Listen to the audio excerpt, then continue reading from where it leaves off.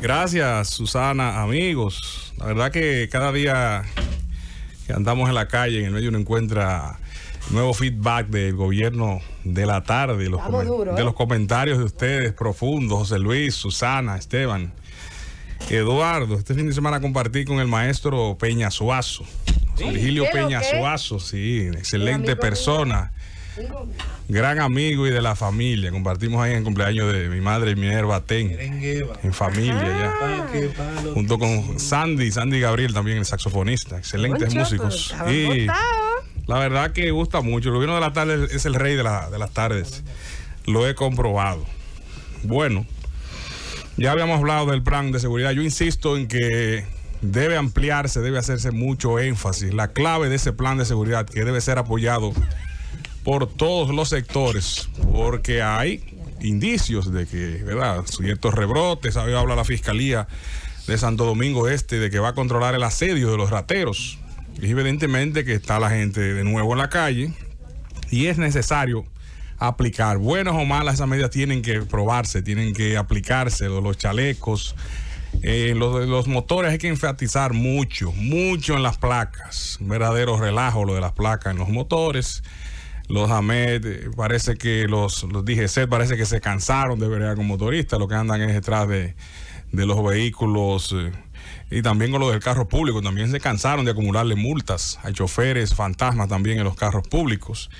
Y lo que están es persiguiendo al ciudadano eh, común, que no es el ciudadano de a pie, que no es malo, pero si usted también se enfatiza en, atacar la causa del desastre, de ese caos que hay ahí en las motocicletas, creo que ayudaría mucho, ayudaría mucho en la persecución y además está violando la ley y de ingresos públicos también con el pago de las placas. Tienen que exigirse la igualdad para todos, igual que se exigen las placas y, y- el mismo casco para ellos, igual que se exigen las placas para los, los carros, los vehículos y todo en general hay que exigirle las placas a los motores. Aplicación drástica, al igual que para todos. No puede haber privilegio ahí, eso va a ayudar mucho, junto con lo de las cámaras, tanto privadas como la del 911, a controlar esos, esos malandrines que operan en todos los rincones del país.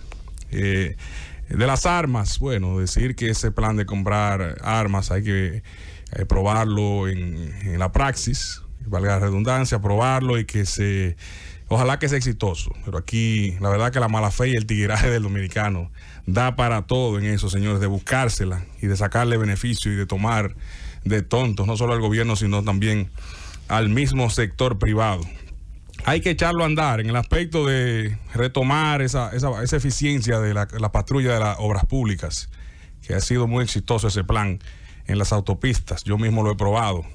Hasta la grúa de los vehículos, de los seguros de uno privado, eh, a veces te dejan en, la calle y te llega un, a socorrerte un, una comispol. Y la verdad que tú sales de aprieto y te evitas un atraco. Señores, en el aspecto internacional, se, se ha dado recientemente en las relaciones con China y Estados Unidos, el gobierno tiene que hilar muy fino.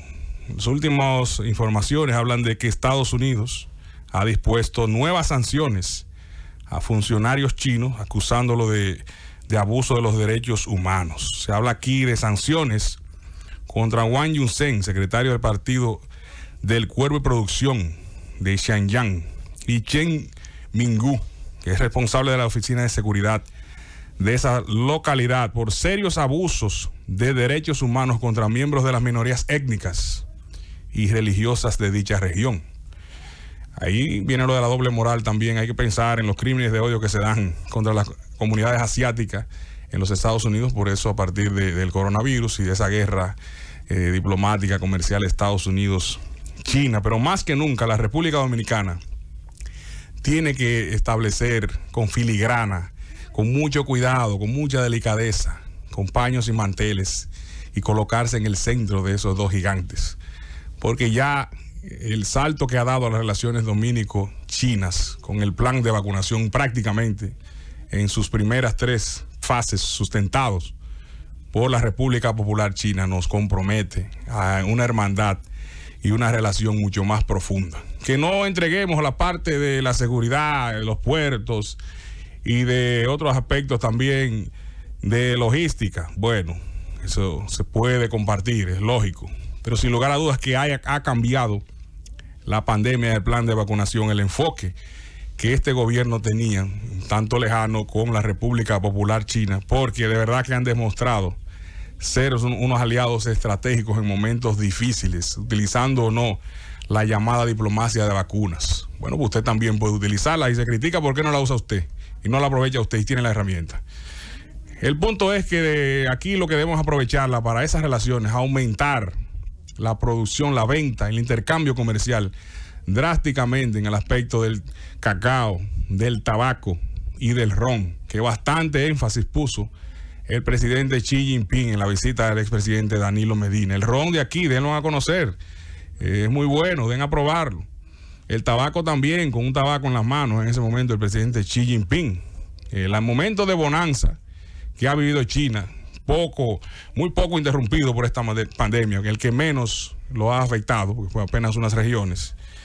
Eh, hay que aprovechar la bonanza que hay, el, aumento de empleo que hay en China. Eso indica que los chinos cada vez van a querer conocer más el mundo, cada vez van a querer conocer más el placer de lo que es el tabaco, de lo que es un buen ron excelente dominicano. Ambos rubros estamos en niveles en el top 5, eh, a menos de ron y de, y de tabaco. ¿Y por qué no?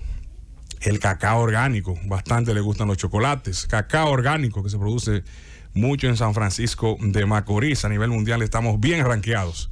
Hay que aprovecharla en ese aspecto y cómo no, las relaciones diplomáticas y políticas toman otro nivel y hay que darle mayor relevancia.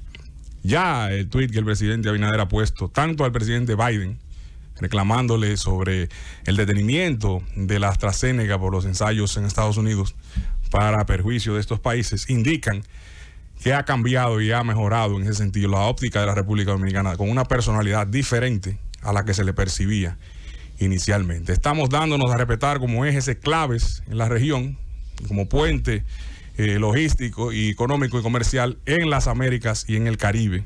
También el tuit que le puso de agradecimiento al presidente Xi Jinping indican que se inaugura una nueva etapa, que sin lugar a dudas vamos a aprovechar lo mejor de cada alianza. Ahora, esperamos que haya una mejor, cuando haya una recuperación en Estados Unidos, una mejor relación eh, comercial y diplomática hacia la República Dominicana con más hechos y que vengan todos esos turistas. Mientras tanto, esa guerra comercial, esa guerra diplomática va en aumento. También se sumó Europa a las sanciones a funcionarios chinos. Decir, señores, también estuvo la Fuerza del Pueblo, felicitarla por su actividad de, ayer. Llevó 4.500 personas al Centro Olímpico y creo que demostró, demostró tener ya eh, ser un adolescente entrado en la adultez la fuerza del pueblo ya es una realidad y ha aumentado. esa votación que obtuvo la fuerza del pueblo no es la misma de ahora que tiene en la aceptación política. Sí, criticarle que no basen su estrategia solo en una sola fuente, en beber de una sola fuente. Usted no puede crecer bebiendo de una sola fuente, de solo del PLD y de la desgracia del PLD. Tiene que abrirse, tiene que tener nuevos rostros, tiene que tener una gerencia política mejor adecuada y presentar rostros que realmente eh, en la dirección política de esa organización reflejen una conexión mayor con esta sociedad. De antemano ya sabemos que es una realidad y va a competir, va a competir de lleno todos estos años con el PLD por la principalía en la oposición política. El presidente Fernández atacó duramente al PLD y le hizo la salvedad, le hizo la sugerencia al presidente Luis Abinader de que mantenga las ayudas sociales a los pobres y que no sean estacionarias solo unos meses. Las ayudas que se establecieron para eh, solventar la crisis económica por la pandemia y el desempleo.